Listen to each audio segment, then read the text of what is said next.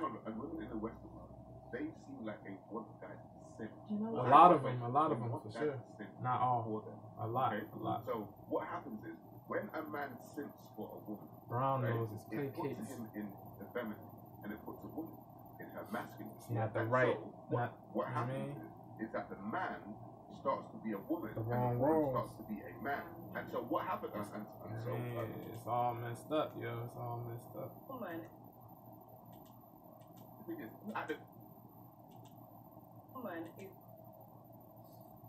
women in the Western world, they, hang on, and women in the Western world, they seem like they They want men to be effeminate. A plenitude of women want men to be effeminate, to be soft, to be doormats, uh, spineless. Like it's, it's not it's not prudent to be spineless. You know what I'm saying? It's not prudent, man. It's not prudent.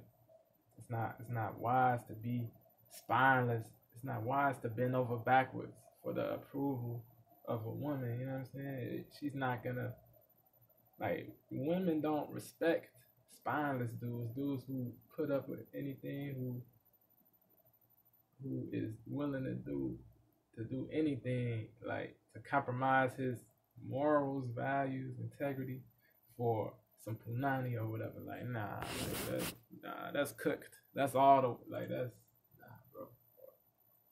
That's straight. Okay?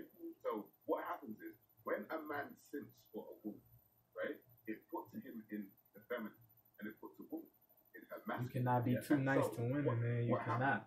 It's, is it's that detrimental. starts be a woman. Be good hearted. Like I always say, there's a difference between good heartedness and spinelessness. You don't want to be spineless. You can be good hearted. I mean, you can.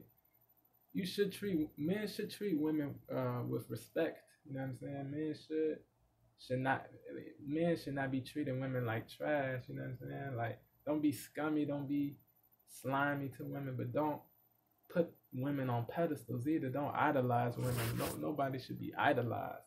You know I mean? No human on this earth is infallible. No woman on this earth is infallible. So why, why, like, you know what I mean? I, I used to put women on pedestals. You know what I'm saying? But I had, I had to, you know what I mean? I had to wisen up. Like, it's not like putting women on pedestals doesn't help you. You know what I'm saying? It doesn't. You don't get more respect. You don't like. They're not gonna like. Yeah, bro. It's just like buying flowers and all this stuff. Like buying buying stuff for women that are not into you it doesn't make sense. and the woman starts to be a man. And so what happens? And, and so uh, I'm just saying. And so what happens is, is that the, the dynamics of the relationship get skewed. And so women, while they may like, because women generally like attention, you know, women, like attention, what I right? In abundance, However, too much attention, it's, it's deleterious. you ain't gonna respect. That's a fact. You know what I'm saying? Shout out to that dude, yo.